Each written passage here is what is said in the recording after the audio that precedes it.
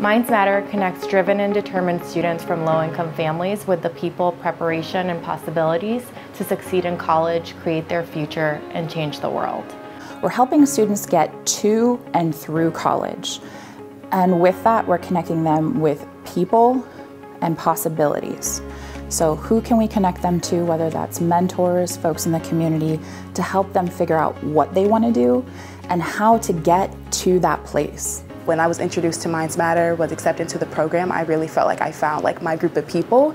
Um, and like we were all like first gen, low income students, all kind of working towards this goal of going to college eventually. It was definitely the people, just having like other people outside of your family who really wanted to invest in your future and see you do great and do big things in life was very big for me. It also like gave me like a confidence boost because before Minds Matter I didn't really think I would get into CASE or I didn't think like I would be like go as far as I am today.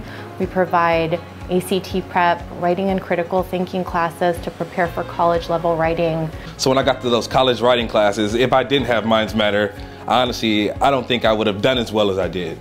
Mentoring, our mentors are paired with our students for their entire three years in the program. We're finding ways to draw from the experience of our mentors who come from all walks of life in helping our students see themselves as college going students, seeing themselves as students who can succeed in this environment. I had really great mentors. They were always there for me and would always like text me or email me like please let us know whatever we can do to help. I think with Minds Matter, it really opened me up to networking. So through having a mentor, through engaging with the adult volunteers, engaging with my peers. We will send our students on a fully funded basis to uh, a summer experience and that can be one to four weeks on a college campus taking a course along the lines of things they're interested in, whether it's sciences, law, business, entrepreneurship, which ultimately allows them to both figure out what they love about college,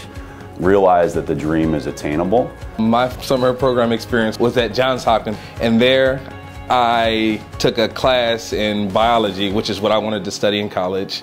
It really instilled in me that like, hey, I really do want to be a biologist and I like these things. It was just a really great experience being able to be on a college campus for the very first time. And I was with other people who I knew and was comfortable with. It was really a time that we got a lot closer, which was nice. The reality is that a college degree is still the best way to build out of generational poverty.